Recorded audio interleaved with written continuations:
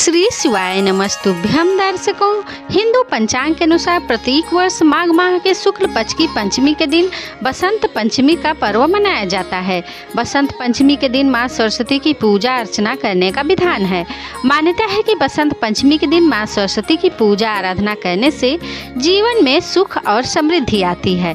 साथ ही विद्या रूपी धन की प्राप्ति भी होती है।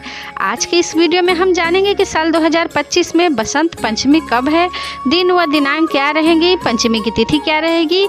इसके साथ ही यह भी जानेंगे कि सरस्वती पूजा का शुभ मुहूर्त क्या रहेगा इसके बारे में। दर्शकों, साल 2025 में बसंत पंचमी 2 फरवरी 2025 दिन रविवार को है। सरस्वती पूजा का शुभ मुहूर्त रहेगा सुबह सात बजकर नौ मिनट से दोपहर के बारह बजकर पैंतीस मिनट तक। कुल अवधि रहेगी पाँच घंटे छब्बीस मिनट की। पंचमी तिथि का आरंभ होगा दो फरवरी की सुबह नौ बजकर चौदह मिनट पर और समाप्ति होगी तीन फरवरी की सुबह छः बजकर बावन मिनट पर।